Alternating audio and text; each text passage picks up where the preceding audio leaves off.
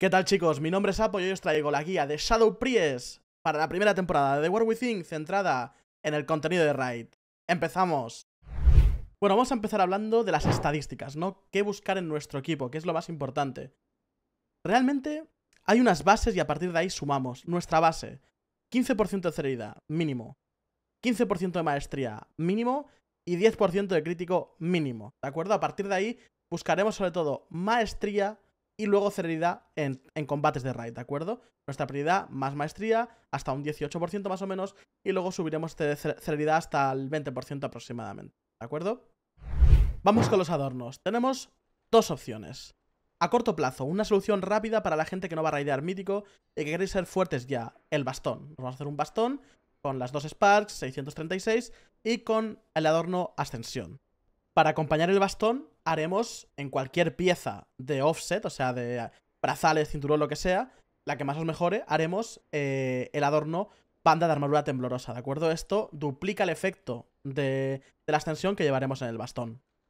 Y ahora, la segunda opción para toda esa gente que quiera pensar un poquito más a largo plazo y que sepa que va a raidear mítico y va a poder conseguir un arma de una mano 639, ¿vale? Aquí haremos lo mismo que antes, o sea, el offset con, la, con, el, adorno que nos duplica el daño de la ascensión, pero en esta ocasión la ascensión, en lugar de hacerlo en un bastón, lo haremos en un arma de mano izquierda, digamos, en, en un offhand, ¿de acuerdo? En un mano izquierda. Lo mismo, pero así tendremos un arma de principal con tres puntitos de item level más, ya que el bastón es 636 y podremos conseguir un arma de una mano 639. El tier set. Sencillo, romperemos por guantes, ¿de acuerdo? Es la única pieza que no da ni celeridad ni maestría. Y no solo eso, sino que encima da más versatilidad que crítico. Así que la peor pieza de todas, si podemos permitirnoslo, será los guantes. Vamos con los trinkets. El mejor trinket, y, con mucha diferencia, es este trinket, ¿de acuerdo? El que sale en el penúltimo boss de la raid. Es nuestro trinket principal, ¿de acuerdo? Así que este sí o sí hay que conseguirlo.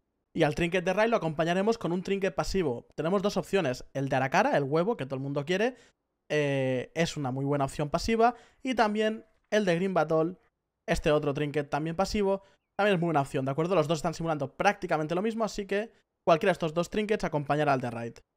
Vamos con los talentos, chicos. A ver, tenemos para Raid dos posibles pues, ¿de acuerdo? La de Single Target, que sería esta, eh, que ya veis que yo tengo aquí Sigran, eh, Kibeza y quizá Ulgra, que es el primer boss.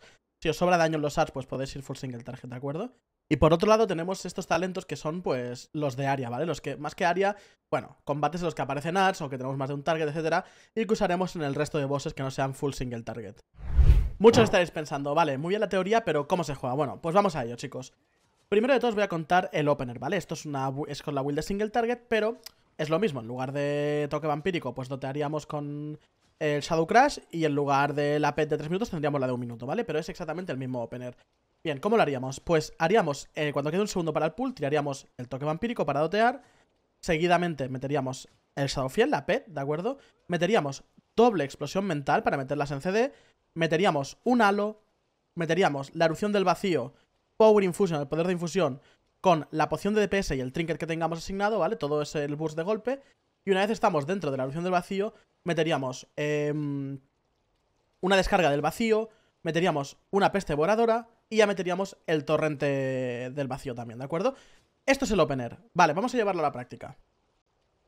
Predoteamos, tiramos la PET, tiramos doble explosión mental, una, dos, tiramos el halo, la erupción del vacío, el Power Infusion con la poti, una eh, Void Ball, la peste devoradora y el torrente del vacío, ¿vale? Ya tenemos el opener hecho. Vale, una vez está el opener hecho, ¿qué tenemos que estar priorizando? Lo primero, tenemos que tener siempre eh, cinco... O sea, el, eh, la peste voladora activa, ¿de acuerdo? Nunca se puede caer, ¿vale? Eso es lo primero. Luego vamos a mantener, eh, vamos a lanzar todas las eh, Void Balls posibles, o sea, todas las descargas del vacío posibles, ¿de acuerdo? Y siempre, muy importante, nunca vamos a pasar a tener más de tres stacks de la tortura mental bufada, ¿de acuerdo? ¿Qué quiere decir eso? Que si vemos que tenemos tres, bueno, podemos llegar a cuatro, pero nunca tenemos que overcapear, ¿de acuerdo? Así que cuando tengamos tres ya vamos a gastar siempre una tortura mental eh, de las que están bufadas, ¿de acuerdo? Y ya está, chicos, no tiene mucha más pérdida. Es lo mismo en AOE que en Single Target. Haremos exactamente la misma rotación. Ya veis, aquí abajo habéis visto toda la rotación. Si queréis echar el vídeo para atrás, tenéis toda la rotación aquí abajo. Y así es como se hace eh, DPS con Shadow Priest. Defensivos, ¿qué tenemos para evitar morir? Pues mirad, empezamos con el Dispersion. 75% de reducción de daño cada dos minutos. El Prayer, 40% de vida máxima cada un minuto y medio. La curita, con el talento que tenemos por aquí. Cada vez que nos curamos, un 10% de reducción de daño, más el desvanecerse. Otro 10% de reducción de daño cada 20 segundos, más el escudo, ¿de acuerdo? Así que chicos, Curita Fadesiel, importantísimo usarlo a tope, ¿vale? Y por último, ¿qué utilidad tenemos para el grupo de Raid? Pues muy importante, la entereza, 5% de vida a todo el mundo. El poder de infusión, ese 20% de celeridad a un compañero, súper importante. Y por último, el más dispel, ¿de acuerdo? Ese dispel en área podemos displayar a 5 miembros del grupo, que a veces también es súper útil. Y eso es todo chicos, espero que os haya gustado, no olvidéis suscribiros y recordar que estoy todos los días en directo en mi canal de Twitch.